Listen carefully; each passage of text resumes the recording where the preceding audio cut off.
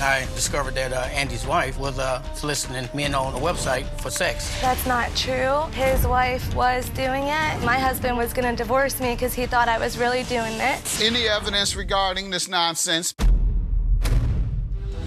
Next, Judge Mathis